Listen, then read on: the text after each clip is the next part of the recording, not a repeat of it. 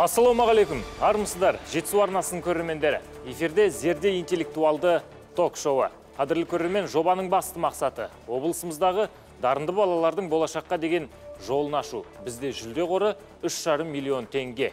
Бірінші орын алған оқушыға 2 миллион екінші орынға 1 миллион үшінші орынға 500 мың теңге сыйлық бар демеушісі алматы облысы әкімі. Құрметті оқушылар жартылай финалға қош келдіңіздер. Ал сіздерді таныстыра кетейін. Бірлік ержанат көксу ауданы құрманов атындағы нөмір екінші орта мектеп. Әкімбек анел сарқан ауданы мағжан жұмабаев атындағы орта мектеп. Наурызбекова назым қапшағай қапшағай орта мектеп гимназиясы. Көпбаева назым сарқан ауданы қарауыл төбе орта мектебі. Жеңіс бүлдіршін көксу ауданы қадырғали жалайри атындағы орта мектеп гимназиясы және де Қыдырбай Қасымхан Қаратал ауданы нөмір 13 мектеп. Дайындықтарыңыз қалай? Жақсы. Бәрекелді, сәттілік болсын. Ал енді қай мінбер бұйырады сіздерге? Мына қарағаптың ішіндегі тастар арқылы білейік.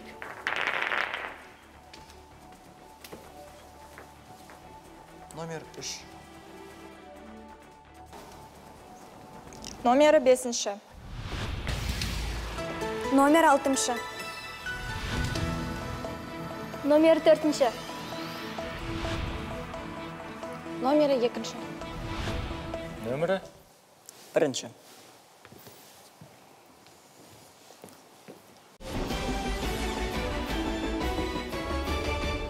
Бірінші кезең оқушылар бәйге. Бәйгенің ережесін жақсы білеміз иә бір минут уақыт. Менің қолымда 15 сұрақ бар. Бұл жерде тек қана білім емес сіздердің жылдамдықта сыналады десем артық айтпаймын. Бізде бірінші мінберде орналасқан қасым қан дайынбыз ба? Дайынбыз. ал сәттілік. Бірнеше адамның бір бірімен сөйлесуі қалай аталады? Диалог. полилог. Мен құстан туған құмаймын өлеңінің авторы кім? Махамбет Өтемісұлы. дұрыс. Пугачев көтерілісінде басты күш қазақтардан құралып басып алған бекініс Кулагин. дұрыс. Ай мен күннің тұтылу себептерін кім дәлелдеді? Исаак Ньютон. әл фараби парабола қай функцияның графигі? Квадраттық. дұрыс. Адам қанының атқаратын қызметі Оттек таратады. газ тасымалдау күштің әсерінен денелердің пішіні мен көлемінің өзгеруі. Деформация. дұрыс заттың мөлшерін өлшейтін бірлік. Дұрыс мен деген төл сөзді төлеу сөзге айналдыр. Менің. өзінің әйгілі қозгөрпеш баян сұлу жырының ең көркем нұсқасын таратқан эпик ақын дұрыс пугачев пугачев бастаған шаруалар соғысын ашық қолдаған қазақ сұлтаны. Дұрыс жердегі ең жылы теңіз. Қызыл теңіз. дұрыс. Математикада айнымалыларды белгілеуде қай алфавит пайдаланылады? А, Латын алфавиті. дұрыс. Қазақстанда қызыл кітаптың үшінші басылымы қай жылы жарыққа шықты? А, 1978 жылы. 1996 екен. Бір минут уақыт. 14 сұрақ қойып үлгердік. 9 сұраққа дұрыс жауап бердің тамаша. Жалғастырамыз. Кезек бүлдіршін. Дайындық қалай? Жақсы. ал сәттілік жетеу сөзі қандай сан есім Топтау. жинақтық сан есім міржақып дулатов қай жылы дүниеге келген 1990. 1885 бірде бір адам аяғы баспаған үлкен тибетке жет- жеткен грузин көпесі көп жақтың бір жағының бойында жатпайтын екі төбесін қосатын кесінді Биіктігі. көп жақтың диагоналі тіршіліктің өздігінен жаралу теориясы Келесі. атмосфералық қысым немен өлшенеді Паскальмен. барометрмен Барометр. судың қатты күйі дегеніміз не Қатты күйі. Мұз. Дұрыс. Ауадағы оттек газының орнын толтыратын табиғи үдеріс. Келесі. есімдерше түрленіп қимылдың шаққа қатысын білдіретін етістік. Есімдік. есімше аққулар ұйықтағанда поэмасының авторы кім? Дұрыс. 1897 жылғы халық санағы бойынша халық ең көп қоныстанған ірі қалалар. Келесі. математикада екі қатынастың теңдігі не деп аталады? Дұрыс. Зоология философиясы еңбегінің авторы желдің бағытын ненің көмегімен өлшейді? Жел бағыдар. Флюгердің Флюгер. бір минут уақыт бүлдіршін.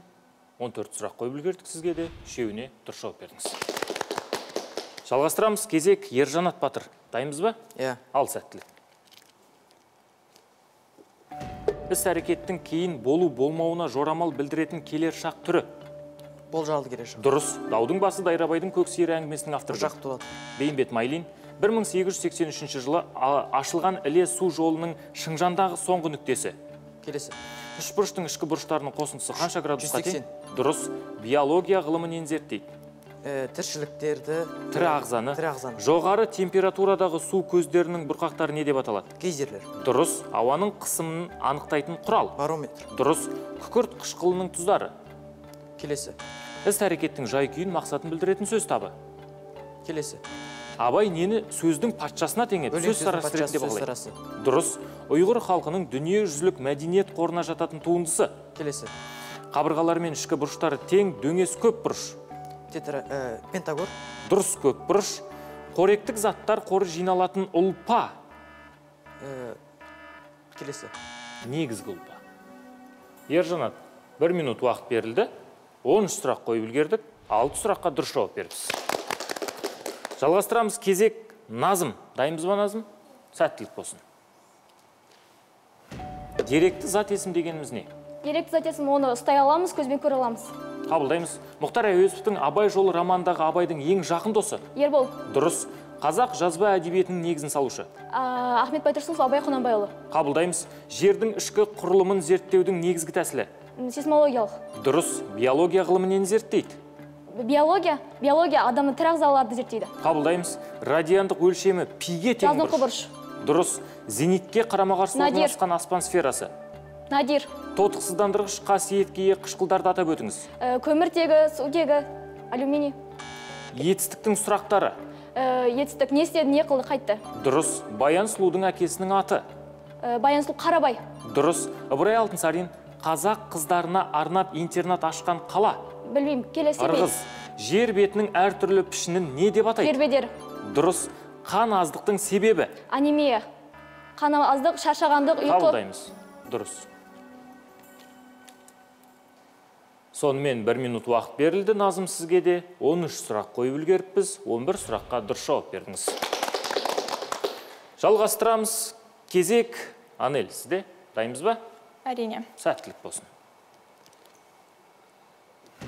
Бөлшектеуге келмейтін төл үстеуді қалай атаймыз? Негізгі үстеу. Дұрыс. Жиренше шешеннің сүйген жары ақылшысы келесі. Құрманғазының исатай тайманұлына арнаған күйі? Ә, келесі. Жер бетін 13 климаттық белдеуге бөлген ғалым. Дұрыс. Балықтың тыныс алу мүшесі? Ә, желбезек. Дұрыс. Кез келген теріс сан нөлден үлкен бе кіші ме? Кіші. Дұрыс. Бірліктердің халықаралық жүйесіндегі қысымның бірлігі? Паскаль. Дұрыс. Су қандай металдармен әре- әрекеттеседі? Активті металдармен. Дұрыс. Қимылдың болу орны мен бағытын білдіретін үстеу мекен үстеу дұрыс. Сұлтан махмұттың үлгі тұтқан татар ақыны. Келесі. Сырым датұлы старшын болған ру. Байбақты. Дұрыс. Қазақстанның негізгі табиғи байлықтарын ата. Ә, мұнай газ. Минералдық ресурстар. Алқа тұқымдасына жататын улы өсімдік. Ә, келесі. Координаталық түзуде нөлден онға қарай Өседі. бағыттасан кеми ме өсе ме өседі өседі. Дұрыс. Механикалық тербелістерде дененің тепе теңдік күйінен ең үлкен ауытқуы? Амплитуда. Қабылдаймыз. Бір минут уақыт берді. 15 сұрақтың барлығын оқып үлгердік. 11-не дұрыс жауап бердіңіз бүгінгі сайысқа яғни бірінші кезеңге нүкте қоямыз. Наурызбекова назым кезек өзіңізде дайынбыз ба? Иә. ал сәттілік. Күшейткіш үстеудің сұрақтарын атаңыз. Қандай қай? Қалай қандай? Мұхтар әуезовтің тұңғыш баспа бетін көрген туындысы. Еңлік кебек 1802 жыл сырым датұлы қаза болған жер. Келесі. Өзенде жыл сайын қайталанатын су молаюының мөлшері. Су тасқыны. Дұрыс. Э, қауашақ жемісті өсімдік. Мақта. Дұрыс. Қарама қарсы сандардың қосындысы. Нөл. Дұрыс. Бірліктердің халықаралық жүйесіндегі тербеліс периодының өлшем бірлігі келесі. Аса берік шойында графиттің пішіні қандай түрде болады? Қатты берік. Шар тәрізді. Туынды еліктеу сөздің жұрнақтарын ата. Ақ ай аң. Аң ең ың ің дулат бабатайұлы өмір сүрген жылдарын айтыңыз. 1802 қабылдаймыз. Бөкей ордасында болған көтерілістің мақсаты кімнің өлеңдерінде айқын көрінеді? Исатай махамбет. Махамбеттің қабылдаймыз. Ең жоғарғы және ең төменгі температуралардың айырмасы. Амплитуда. Амплитуда бәрекелді. 12 сұрақ қойып үлгердік 8 сұраққа дұрыс жауап бердіңіз. Бірінші кезең аяқталды оқушылар.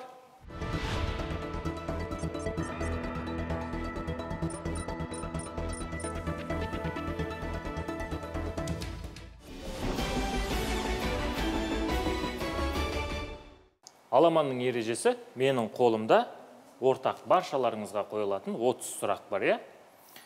Тетікті басып барып жауап береміз. Дұрыс болмаған жағдайда міндетті түрде қарсыластарға бір мүмкіндік беріледі. Түсінікті ғой? Ал сәттілік бастаймыз. Алғашқы сұрақ. Шылау дегеніміз не? Қасымхан шылау дегеніміз ол өзіндік бір рөл атқара алмайтын бірақ сөз табы болып табылады. Сөз табы болып табылады. Ол бізде қазақ тіліндегі негізінен толықтырушы мағынаны білдіреді. Деп айтсақ та болады. Шылаудың негізгі мағынасы осындай. Яғни ол қандай да бір керемет мән мағына атқарамайды деп айтсақ болады. Жақсы қабылдаймыз. Ақан серінің махаббат лирикасына жататын ақ жүрек. Қалай? Ақ жүрек. Ақ жүрек? Жоқ. Ақ ақ жүрек иә иә. Қарсыластар назым? А, жайықтың ақ түлкісі. Ақ тентек. Иә. Жайықтың ақ түлкісі бар. Жақсы қабылдасақ болады. Және де ақ көйлек дейді. Көйлек 1836 1838 жылдары көтеріліс бойынша сот жазалау ісін кім басқарған? Ержанат дут дутов. Иә. Жоқ қарсыластар. Анель Э, кім? Беда нет беда емес.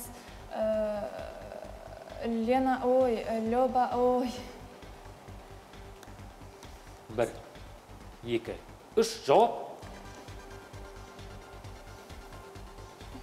жауап жоқ болса өзім оқиын? Полковник геке. Ауа массаларының негізгі түрлерін. Қасымхан ауа массаларының негізгі түрлерінің саны олар төртеу яғни олар арктикалық қоңыржай экваторлық және тропиктік. Қабылдаймыз бәрекелді бұталы раушан гүлді өсімдік. Анель итмұрын. Дұрыс қабылдаймыз. Төрт бұрыштың қабырғалары мен бұрыштары. Анель төрт бұрыш элементтер болып табылады. Элементтер болып табылады дұрыс. Жылу берілген қасымхан жылу өткізгіштік деп аталады. Жылу өткізгіштік? Иә. Э, жылу берілген кезде ден- э, денеге берілген тем- э, энергия арта ма э, берілген энер- артқан немесе кеммеген энергия қалай аталады? Жылу өткізгіштік. Қабылдаймыз. Деформацияланатын конструкциялы назым? Деформация дегеніміз ол яғни күштердің ә, күштің арқасында ә, қозғалатын денелер. М- мәселен гук заңы жатады оған яғни ә, бір серпе болады соны деформация арқылы қозғалтамыз біз. Қабылдаймыз жалғастырамыз. Септеулік шылаудың қызметі. Қасымхан септеулік шылау ол э, мысалға э, жалғанған кезде э, мен бен пенмен толықтырып яғни сөйлемге бір э, сөйлемнің мән мағынасын толықтырады деп айтсақ болады. Иә дұрыс қабылдаймыз. Бұл негізінде сөз бен сөзді сабақтастырады ғой. Жақсы. Енді құрметті оқушылар 10 сұраққа келдік. Бұл бізде экран арқылы аудио сұрақ дейді. Таныс үн шықса бірден тетікті басып барып жауап береміз.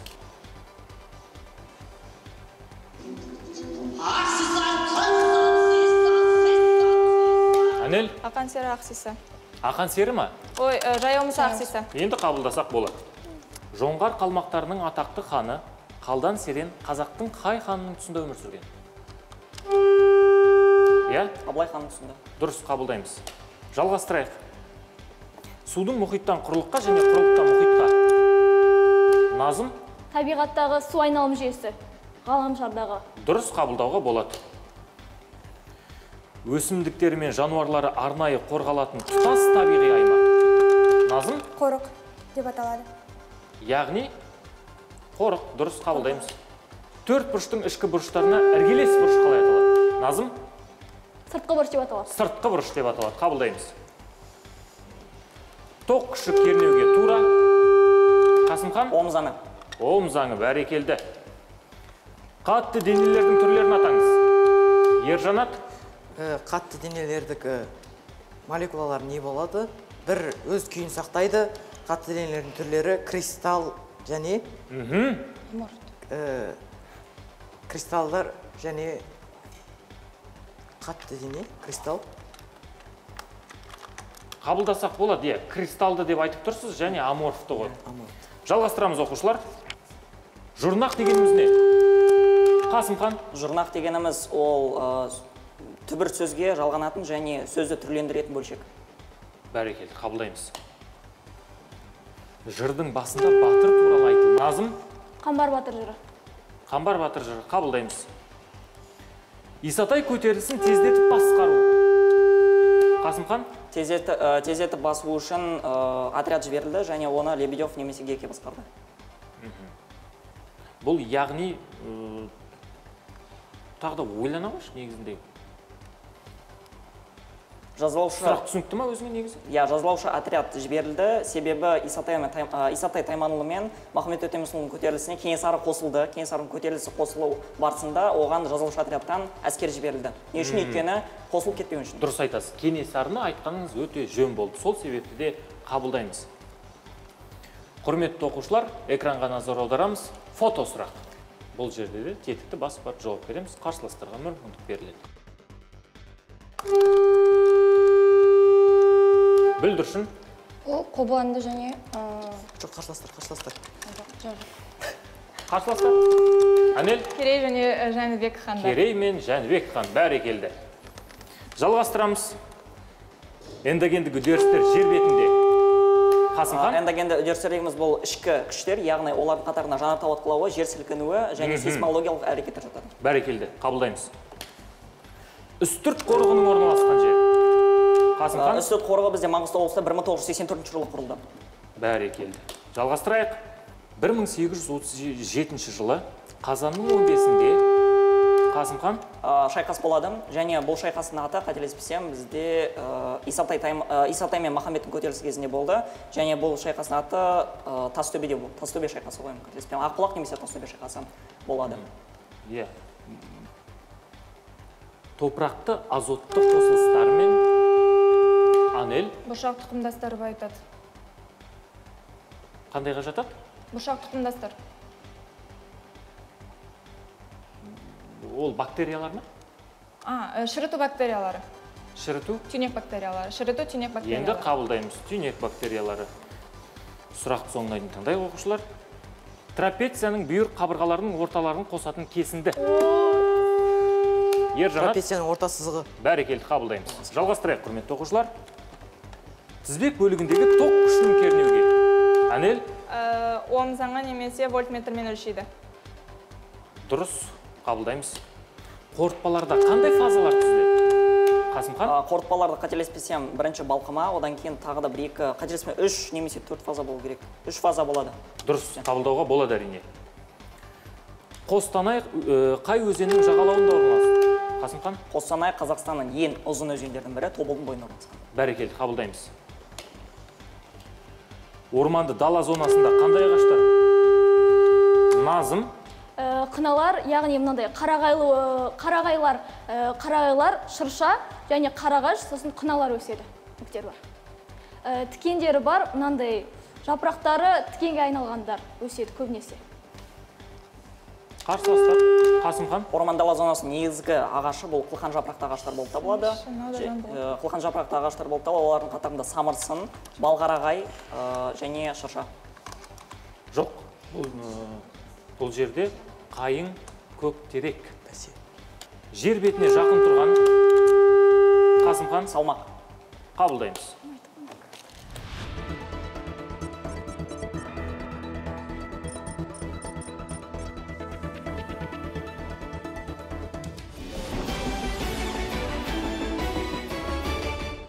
Үшінші кезең оқушылар жорға. Ал енді жорғада шаңдатайық. Экран арқылы ә, бір ұяшықта сіздерге дайындалған арнайы бес сұрақ бар. Ойланып жауап беруге бір минут уақыт беріледі. Түсінікті ғой? Екі кезеңді қосқанда бізде 23 ұпай жинадық. Қасымхан сол себепті де бірінші болып ұяшық таңдайсың. Бесінші ұяшық көрейік бесінші ұяшықты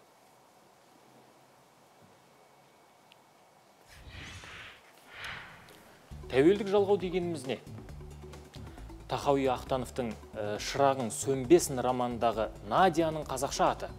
19 ғасырдың 20-30 жылдары сыр өзені бойында бекініс тұрғызған мемлекет. Қазақстанда тұңғыш қызыл кітап қай жылы шықты? Үш бұрыштың ішкі бұрыштарының қосындысы нешеге тең?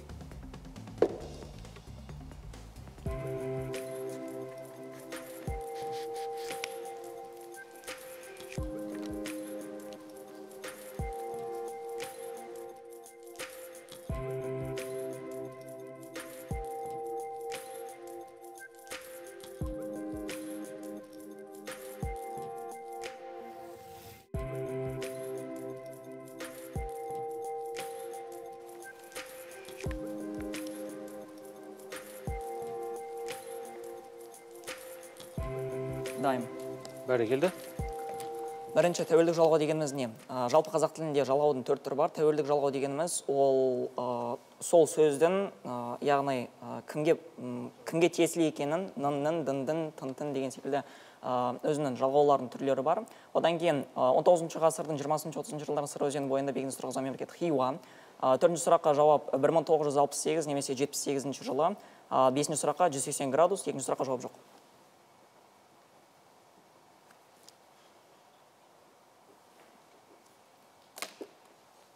Сонымен қасымхан бір минут уақыт болды бірақ сіз 30 секунд ішінде жауап бердіңіз.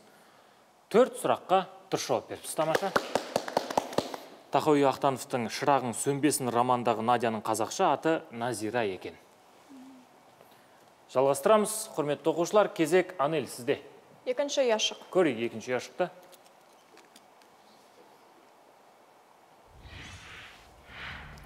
сөз бен сөзді сөйлем мен сөйлемді тең дәрежеде байланыстыратын шылау. Балқадиша маңмаңгер құлагер әндерінің авторы. Атақты қобызшы қорқыт ата күмбез орналасқан аймақ. Тұйық фигурамен шектелген жазықтың бөлігін не дейміз? Суда аз еритін газ.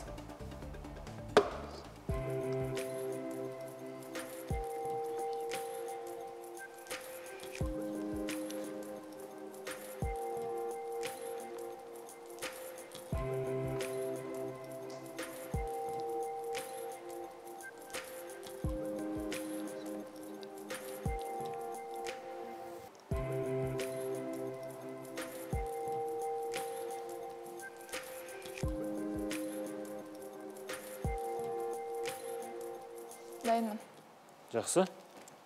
Бірінші жалғаулықшылау. Ә, екінші ақан сері. Үшінші қызылорда облысы. Төртінші тұйықталған жазық немесе шектелген жазық. Бесінші азот газы суда аз еритін газ болып табылады.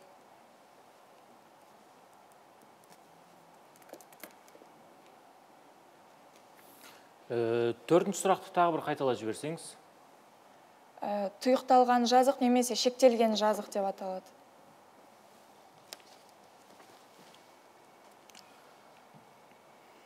Мен қанша байқаймын әр кезеңде жорға сайысында анель міндетті түрде бес сұрақтың бесеуіне де жауап береді. Тамаша. Жалғастырамыз. Кезек бізде көпбаева назым. Төртінші яшық көрейік төртінші ұяшықты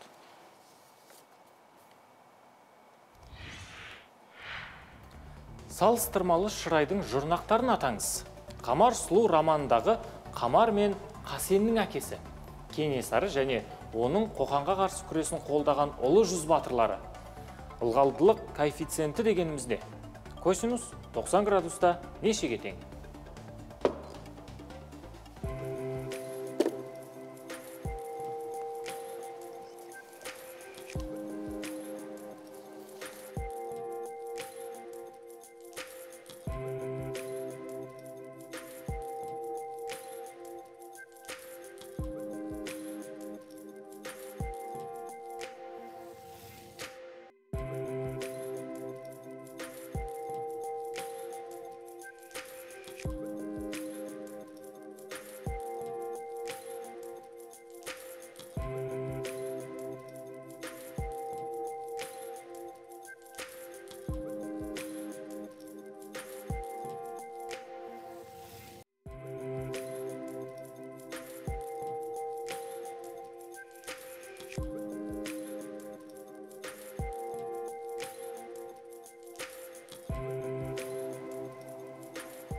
Уақыт.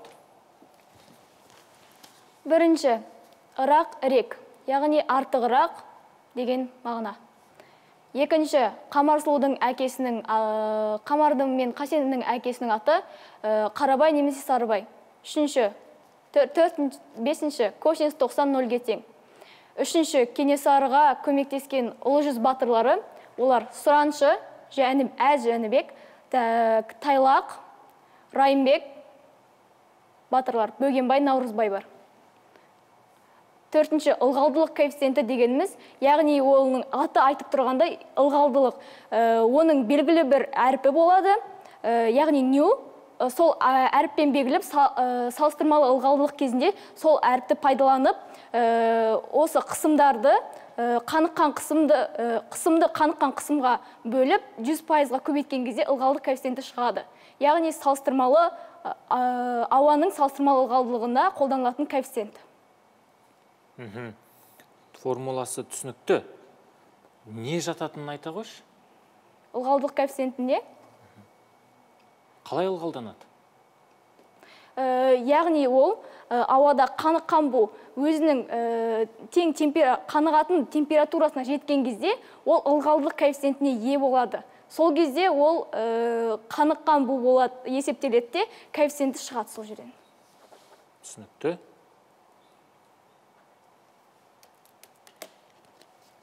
Бір минут уақыт назым сізге. Бес сұрақ төртеуіне дұрыс жауап бердіңіз. Қамар сұлу романдағы қамар мен қасеннің әкесі ол омар екен есте болады. Кезек наурызбекова назым сізде. Ә, үшінші яшық көрейік.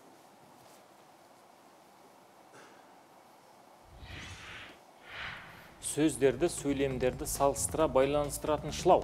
1936 жылы айдаудан келген мағжан жұмабаев қай қалада мұғалім болып қызмет етті? Қазақ жүздерінің құрылу себебін жазған ғалым. Санның квадраты бойынша санның өзін табу амалы қалай аталады? Жер қабығының ең жоғары құнарлы қабаты.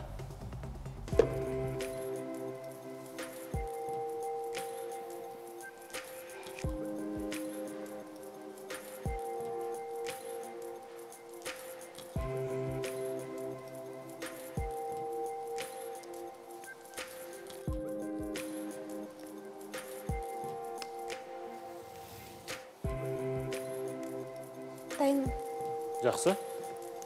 Ә, бірінші сұрақтың жауабы жалғаулықшылау екінші сұрақтың жауабы ә, петропавлда. Үшінші сұрақтың жауабы ә, шоқан уәлиханов. Төртінші сұрақтың жауабы квадраттық түбір. Ә, яғни радикал таңбасы бойынша анықталады. Ә, және соңғы сұрақтың жауабы ә, топырақ.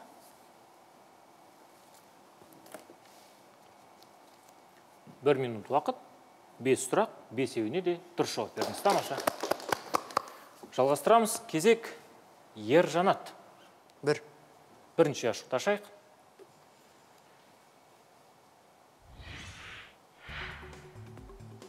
ат тонын ала қашты тіркесінің мәні. Шәкәрімнің абайдың өнегесін үлге ету қажеттігін баяндайтын өлеңін атаңыз. 19 ғасырдың екінші жартысында уақытша ережеге сәйкес енгізілген міндетті салық. Орманды дала зонасында қандай ағаштар өседі? Трапецияның параллель қабырғалары қалай аталады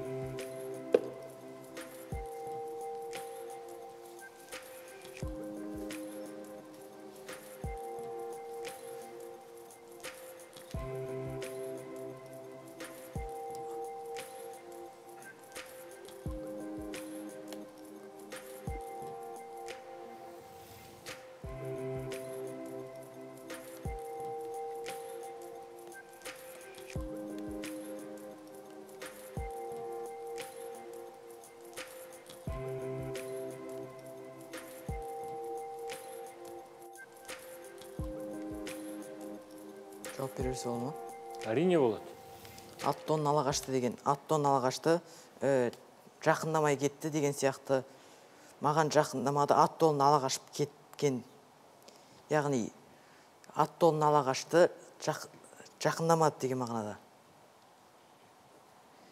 Ары қарай? Трапецияның параллель қабырғалары табандары немесе төбелері деп аталады. Орманды дала терек жиде үйеңкі сияқты ағаштар. Салық түрі міндетті салық түрі түтін салығы және шаруашылыққа қолданатын салық түрі. Яғни егіннен алынатын салық. Екінші сұрақ.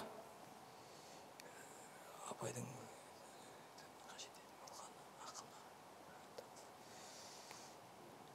қандай өлеңі? Жауап жоқ. Бір минут уақыт бес сұрақ үшеуіне дұрыс жауап берді. Екінші сұрақтың жауабы жастарға үшінші сұрақтың жауабы шаңырақ салығы екен.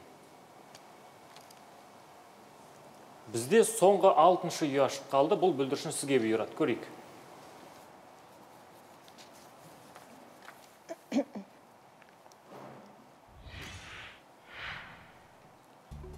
Кітап сөзін көпше түрде тәуелде қатын өлді қамшының сабысында деген сөз ел аңызы бойынша кімге байланысты айтылған? Кенесары қасымұлы ерекше көңіл бөлген шаруашылық саласы. Үш бұрыштың бір төбесін осы төбеге қарсы жатқан қабырғаларының ортасымен қосатын кесінді суы ең бұлыңғыр өзен.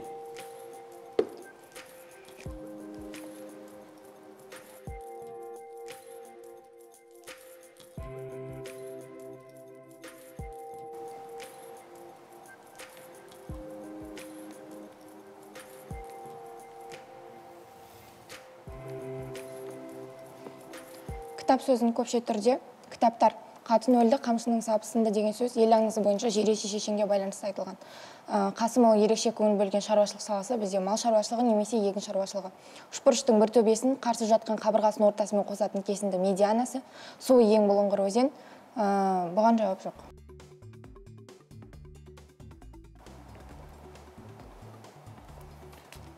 Кітап сөзін көпше түрде тәуелде деген сұраққа тағы бір жауап беріп жіберсеңіз нақтырақ. Кітап сөзін көпше түрде кітаптар. Кітаптары оның кітаптары менің кітаптарым сенің кітаптарың. Бір минут уақыт бүлдіршін. Бес сұрақ төртеуіне дұрыс жауап бердіңіз су ең бұлыңғыр өзен сырдария өзені екен. Мінекей құрметті оқушылар үшінші кезеңде аяқталды. Енді бізде соңғы төртінші кезең қалды. Ол әрине қазақ қазынасы.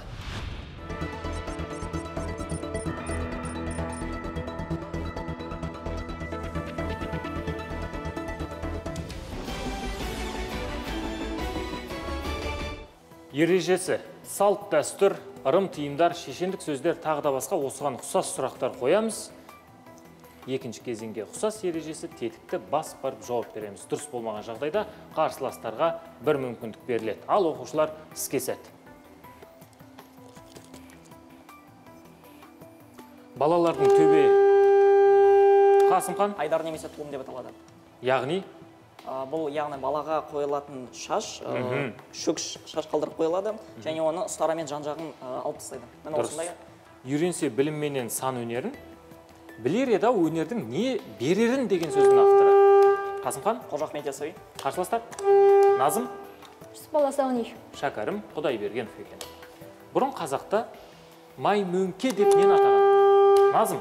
Ұшы қайсы кенені дұрыс айтасыз бәрекелді. Ұшы қисық енен атаған екен. Қапсырма дегеніміз не? Әнел?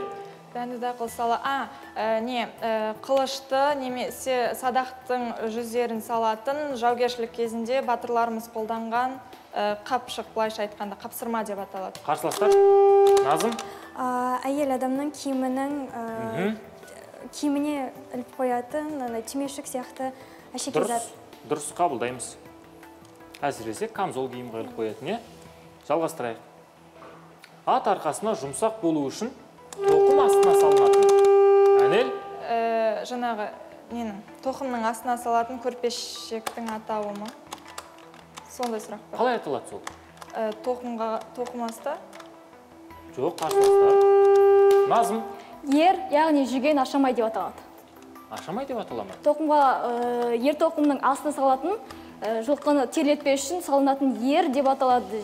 Және ашамай, және де жүген деп аталады былай. Салынатын көрпеше. жоқ.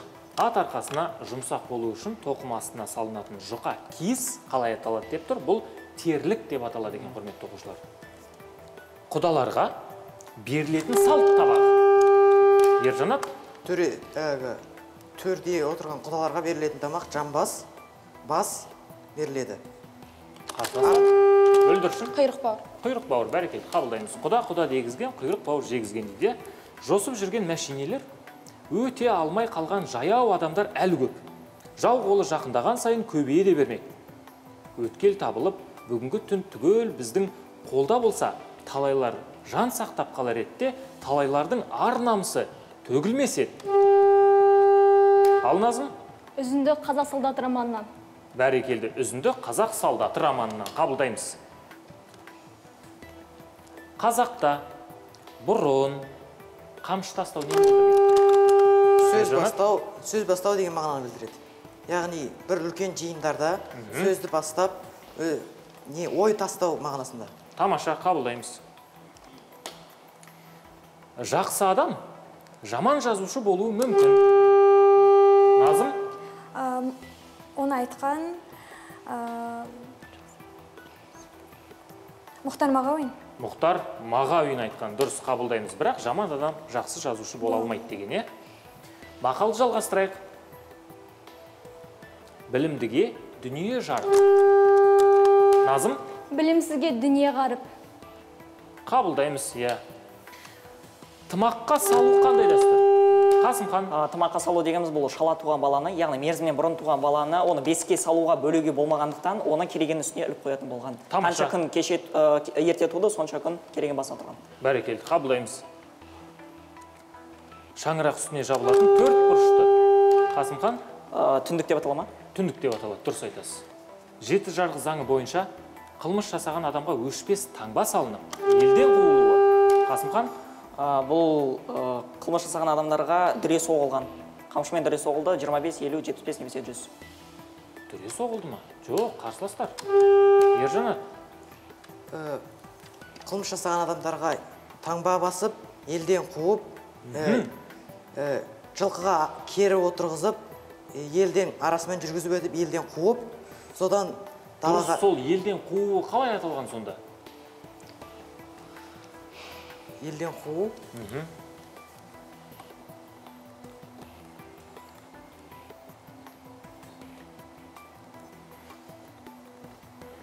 жауап бар ма? Жоқ. Жеті жарғы заңы бойынша қылмыс жасаған адамға өшпес таңба салынып елден қуылуы қалай аталады бұл қасқа деп айтылады екен. Жалғастырамыз. Қазақта әжі қыз деп кімдерді атаған? Назым? Үйленбеген яғни ә, оң босағада отырып қалған кәрі қыздарды айтамыз. Иә күйеуге шықпаған отырып қалған қыздарды айтады иә жалғастырамыз. Жаман дос көлеңке. Ержанат? Жаман дос көлеңке э, бұлт басыңды бұлт шалса кететін. Ал жақсы дос э, жақсы дос жаныңда еріп жүреді. Соны дұрыс айтып тұрсыз кім айтқан? Төле би айтқан. Қарсыластар төле би айтпаған әнел абай құнанбаевтың дұрыс айтасыз абай құнанбаев айтқан жалғастырамыз. Қара торы орта бойлы қошқар тұмсық түлкі мұрт шүңірек көз жігітпін мен емес үзінді назым? Осы кейіпкердің кейіпкер қай үзіндіден алынды? Қазір мен бұны білемін жауап бар ма? Қазақ солдаты. Жоқ. Әнел махаббат қызық мол жылдардағы ерболдың кейпі ма? Жоқ. Құрметті оқушылар өзін сипаттап тұрған бекболат қай шығарманың кейіпкері де жүсіпбек аймауытов ақбілек романынан алынған екен. ұзын жол еді негізінде бекболат деген сөздер де бо- бар болатын ішінде соңына дейін тыңдамадық өкінішке қарай. Жалғастырамыз. Таз иттердің мойнына тағылатын сәнді иә әнел итбау деп аталады ма? Итбау деп аталмайды екен. Қасымхан жоқ қарсы. Қарғыбау деп аталады екен бұл. Соңғы сұрақ құрметті оқушылар. Қазақта жиен шар деп кімді атаған? Қасымхан? Жеңшар деп ол нағашы нағашын айтқан. Нағашы ағасын айтқан. Нағашы ағасын? Нағашы. Қарсыластар ержанат. Жиен шар деп яғни жиені қызының баласын айтқан. Жиен дұрыс иә. Яғни жиеннен туған баланы иә? Иә. қабылдаймыз. Мінекей құрметті оқушылар төрт кезеңді де артқа тастадық енді қазір ұпай сандары және ақтық мәреге өткен үш оқушыны хабарлаймыз.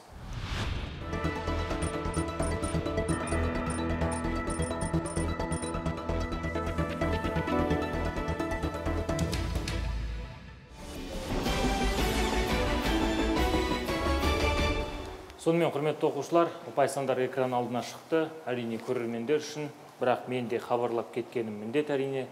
Бүгінгі сайыста төрт кезеңді қосқанда 34 ұпай жинап ақтық кезеңге бірінші орынмен жолдама алған қасымхан құтты болсын. Және де 28 ұпай әнел құттықтаймыз. Және де 26 ұпаймен көпбаева назым сіз финалдасыз. Ал енді ә, бүлдіршін ержанат назым сіздерге бірінші айтарым. Алтын уақыттарыңызды бөліп жартылай финалға дейін жетіп келгендеріңіз үшін үлкен алғыс білдіремін. Әрқашанда жолдарыңыз ашық болсын. Рахмет сіздерге. Қадірлі көрермен осымен бізге берілген уақыт тәмам келесі эфирде жолыққанша амандық болсын. Оқып жүрейік зердемізге тоқып жүрейік. Сау болыңыздар.